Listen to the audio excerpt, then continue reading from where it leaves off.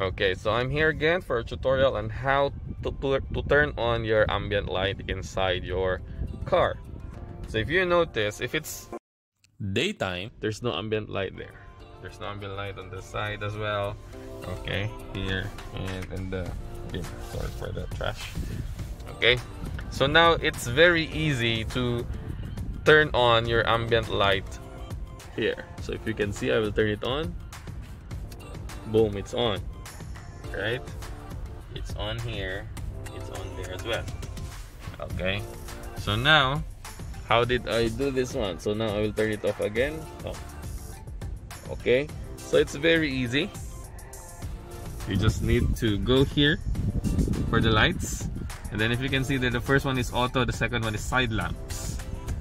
Okay just go to side lamps and it will turn on that's it as easy as that if you turn on auto of course your your light will turn on if it's dark already. And then okay so there's no light yet there if it's auto.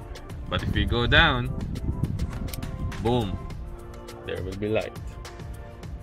So that is how to turn on your ambient light even though it's in broad daylight. Okay? So that is for the ambient light. And then if you notice your dashboard also in the monitor here the brightness will be very low. But if you go down to auto see? All right so auto.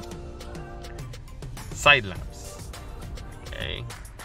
The brightness level lower lower down and then, then here. If we turn it on. So it's on already still on okay? But your uh, your lights are on as well. But if you do side lamps only side lamps ambient light is on there and up.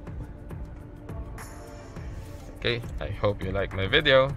So that is how to turn on your ambient light even though it's daytime. Have a nice day everyone